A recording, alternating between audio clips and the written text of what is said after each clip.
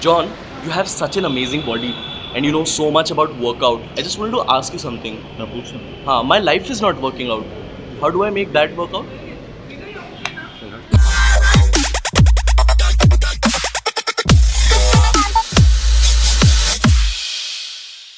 When your friend has all the junk food but still has six pack abs.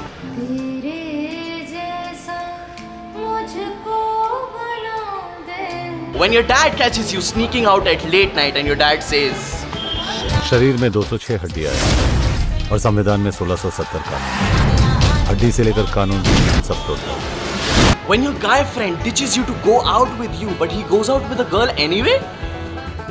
गोली नहीं मारेंगे साले को कह के लेंगे When you visit the doctor and he gives you anesthesia